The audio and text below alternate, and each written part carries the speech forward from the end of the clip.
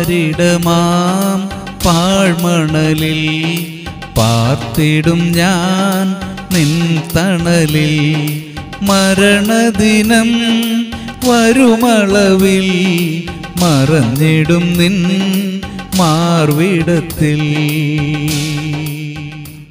ഫിലിപ്പിയർ ഒന്ന് ഇരുപത്തിയൊന്ന് എനിക്ക് ജീവിക്കുന്നത് ക്രിസ്തുവും മരിക്കുന്നത് ലാഭവുമാകുന്നു. ക്രൈസ്തവ ചരിത്രത്തിലെ ഭക്തശ്രേഷ്ഠന്മാരിൽ അഗ്രഗണ്യൻ ആര് എന്ന ചോദ്യത്തിന് വിശുദ്ധ പൗലോസ് എന്നാണ് ഉത്തരം. ഈ വിശേഷണത്തിന് അദ്ദേഹത്തെ അർഹനാക്കിയ ഒരു പ്രസ്താവനയത്രേ ഈ വാക്യം. ജീവിക്കുന്നത് ക്രിസ്തു എന്ന് പറഞ്ഞാൽ തന്റെ ജീവൻ ക്രിസ്തു ശുശ്രൂഷ ക്രിസ്തുവിന്റെ ശക്തിയാൽ ലക്ഷ്യം ക്രിസ്തുവിന്റെ മാത്രം മഹത്വം. ഈ ഭക്തന്റെ അടുത്ത വാക്ക് മരണം തനിക്ക് ലാഭമെന്നാണ്. ഇവിടെ കണ്ണടഞ്ഞാൽ അടുത്ത നിമിഷം പ്രാണനാഥന്റെ മാറിൽ ചാരി ആശ്വസിക്കും എന്ന ഉറപ്പാണ് ഇങ്ങനെ പറയാൻ അദ്ദേഹത്തെ പ്രാപ്തനാക്കിയത്. ഒരു ചോദ്യം മരണം എല്ലാവർക്കും ലാഭമാണോ? ഉത്തരം അല്ല.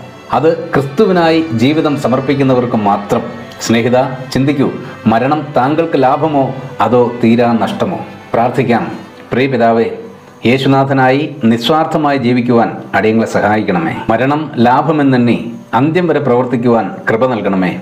യേശു ക്രിസ്തുവിന്റെ ധന്യനാമത്തിൽ തന്നെ. ആമേൻ.